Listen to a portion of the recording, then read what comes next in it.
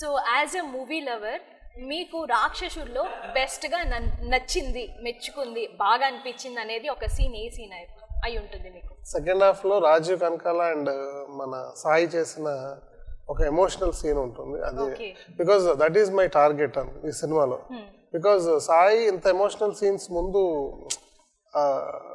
Different emotion ఇక్కడ different emotion అన్నమాట. ముందు చేసిన దాంట్లో ఒక కమర్షియల్ ఎమోషన్ ఇందులో రియలిస్టిక్ ఎమోషన్ ఎలా చేసి అదే టాస్క్ బాగా బాగా రావాలి అని. బికాజ్ ఈ ఆల్సో బాగా కోఆపరేట్ చేశాడు Sai.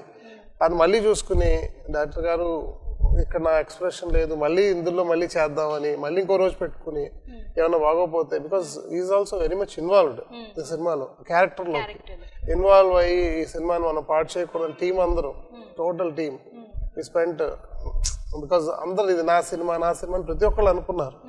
Because of that because నా వల్ల ఒకళ్ళ వల్ల సినిమా నేను because everybody fell this is a super hit film చాలా మంచి కంటెంట్ ఉన్న ఫిల్మ్ మనం దీన్ని పాడు చేయకూడదని we all on one word అన్నమాట.